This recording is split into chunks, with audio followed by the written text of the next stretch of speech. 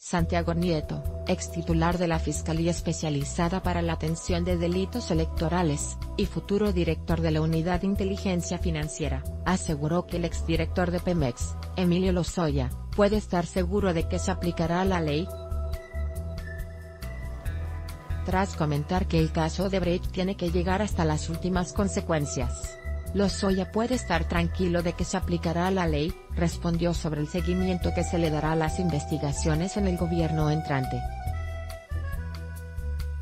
Política Santiago Nieto pide reformar el Sistema Nacional Anticorrupción Santiago Nieto, destituido por violar Código de Ética Santiago Nieto fue destituido de la FEPADE por presuntamente violar el Código de Ética de la dependencia, justo dos días después de haber revelado que el exdirector de Petróleos Mexicanos, Emilio Lozoya Austin, le exigió en una carta que el exfiscal lo declarara inocente. No puede haber intocables en el país tras mencionar que la orden de hacer pública la averiguación previa contra el consorcio de Marcelo Debret, es un mensaje muy claro de que no puede haber intocables en el país. Nieto Castillo aseguró que no habrá cacería de brujas, durante la clase magistral Corrupción y Lavado de Dinero en la Semana Nacional de Transparencia. El caso de Brecht o cualquier otro caso en un Estado democrático tiene que llegar hasta las últimas consecuencias para ejercer la acción penal, y los casos de responsabilidad administrativa en contra de servidores públicos que han violado la voluntad ciudadana para enriquecerse a costa de los cargos y de los espacios de poder,